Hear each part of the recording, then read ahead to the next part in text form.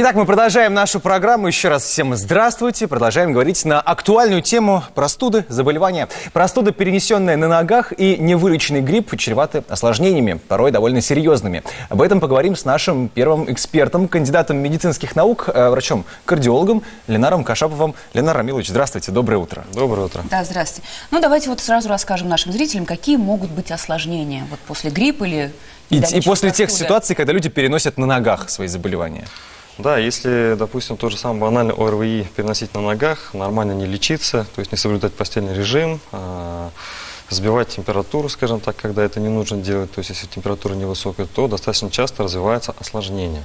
Какие это осложнения? В основном это лор органа, да, то есть либо синуситы, либо фронтиты, либо ларингиты, фарингиты, то есть потом уже дальше, ниже, может быть, трахеиты, бронхиты, пневмонии и так далее. То есть это все опускается, скажем да, так. да, да, да. Я даже слышала, что вот на сердце это очень серьезно действует, допустим, грипп, перенесенный на ногах. Это Да, правда или? э, дело в том, что здесь два аспекта есть. Э, Для сердечников само по себе, то есть любое заболевание, э, вирусной природы, даже если банально ОРВИ, оно будет переноситься тяжело, потому что это высокая температура, это нагрузка на сердце. А если еще мы получим осложнение в виде, допустим, бронхита или пневмонии, когда у нас идет проблема уже с кислородом, да, доставка кислорода тканям, она у нас и так страдает у сердечников, а тут еще хуже получается, то мы можем получить либо декомпенсацию, либо ухудшение состояния пациента.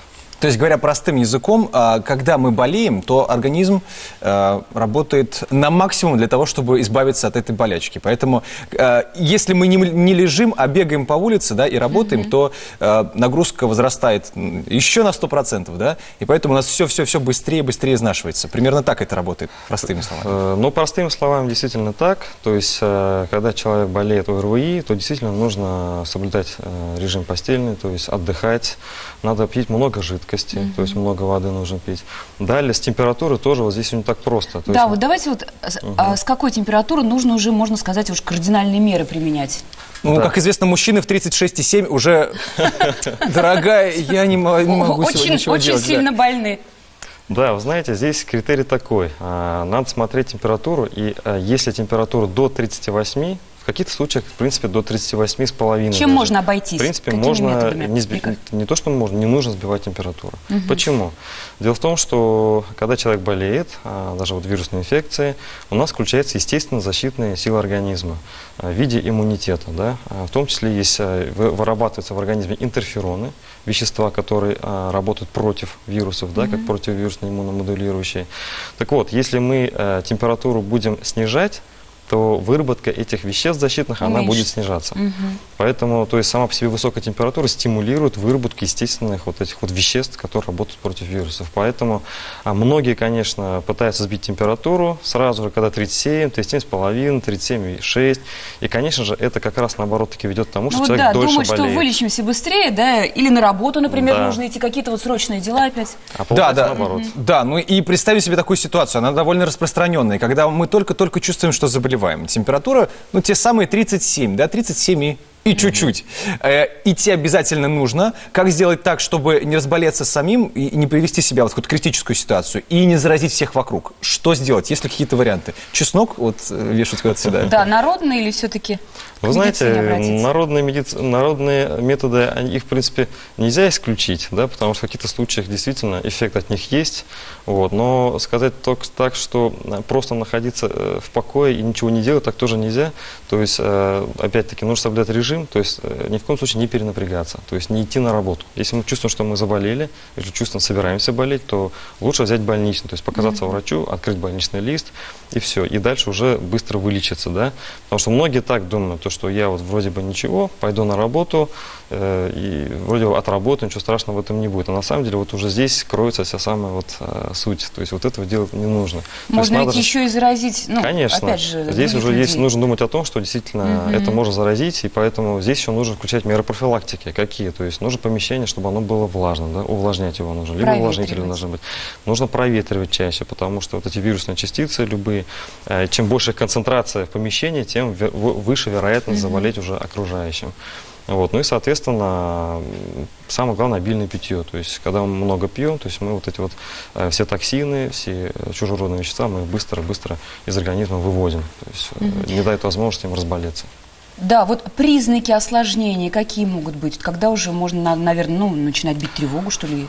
Да, вот здесь надо а, значит, понимать а, такую вещь. А, когда температура сама по себе при вирусной инфекции, даже банальной ОРВИ, без осложнения, она длится от 5 до 7 дней. То есть, допустим, температура в районе 5 дней – это нормально. Если же у нас температура все-таки держится а, больше 5 дней… А лечение несколько, происходит? Да, при, при, при активном лечении, я имею в виду, да, то надо уже думать о том, что, скорее всего, присоединяется уже бактериальная инфекция. То есть вот эта самая бактериальная инфекция, это уже есть то самое осложнение, о котором мы с вами говорим. То есть температура, она не должна быть больше 5-7 дней. В данном случае, и как правило, то есть когда идет температура, как правило, присоединяются уже другие симптомы. Например, а, боли в горле усиливаются или, допустим, не заканчиваются, заложенность носа, появляется выделение, да, то есть желто-зеленого цвета, то есть появляется кашель, mm-hmm. не просто сухой, а уже влажность, мокроты. В данном случае, конечно, это уже 100% признаки осложнений. Здесь уже, к сожалению, а, обязательно необходимо обратиться к врачу, потому что э, необходимо подключать антибиотики, как, как правило, в таких ситуациях. Алина Рамилович, давайте для того, чтобы... Я, я уверен, что кто-то сейчас слушает наши советы и думает, да ладно, пройдет и так, ничего страшного, поболею, не попью воды и ничего не произойдет. Давайте мы напугаем чем-нибудь наших зрителей. Какие есть, какие есть крайние случаи, то есть осложнения, к чему могут привести фактически? Ну, кроме постоянного кашля. Вот э, если обратиться к практике, да, практике врача-терапевта, то очень часто бывает так, что ОРВИ нелеченные, то есть осложняется бронхитом. А если еще и бронхит нормально не лечить, то есть вот бывает так, что осложнение, довели до осложнения, так mm-hmm. еще и осложнение мы не лечим, да, то в данном случае уже можно получить и пневмонию так левостороннюю, правостороннюю, двустороннюю, даже такие случаи бывают. А пневмония сама по себе лечится Не очень тяжело, очень тяжело. И в амбулаторных условиях это очень а, рискованно заниматься лечением таких заболеваний. Как правило, таких пациентов мы кладем уже в стационар. И поэтому лучше, конечно, заняться профилактикой и активно лечиться, чем потом проводить время в больнице. Э, возвращаемся к теме осложнений на сердце, да, потому что все-таки вы Значит, кардиолог, да? Поэтому да. ваш профиль, ваш профиль. Да. Э, осложнение на сердце, еще разок, как это работает и как избежать этого? Ну, понятно, что нужно лечиться, да? да. Чем это опасно? Инфаркты, инсульты, что может быть? А, Хотя нет, инсульт это не сердечный, да? Инфаркт, что такое? Да, здесь значения не имеет. Дело в том, что вот э, когда мы говорим про сердечников, да, это заболевание сердца все. То есть это может быть атеросклероз, стенокардийное напряжение, инфаркт миокарда перенесенный, да, хроническая сердечная недостаточность. Все эти заболевания, они а, чем характеризуются? Дело в том, что здесь происходит а, ослабленная работа функции сердца. Есть либо оно качает слабо да, кровь, э, либо у нас ткани не получают достаточно кислорода. То есть у нас есть одышка у таких пациентов. Да? И поэтому, когда а, они болеют, а, сердечники, то, во-первых, сама по себе высокая температура очень тяжело для них переносится. То есть а, у них и так организм, скажем, не, так, не такой здоровый, да? то есть кислорода не хватает, питательных веществ не хватает для того же сердца самого. Да? Соответственно, здесь эта ситуация просто усугубляется.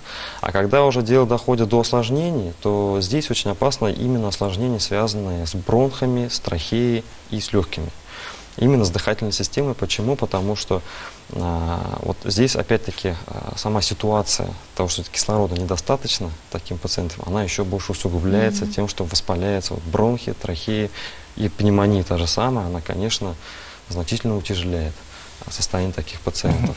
Ленар Рамилович, ну давайте подведем наши главные основные итоги. Итак, а, если мы заболели, то самолечением занимаемся или нет? Самолечением однозначно не занимаемся.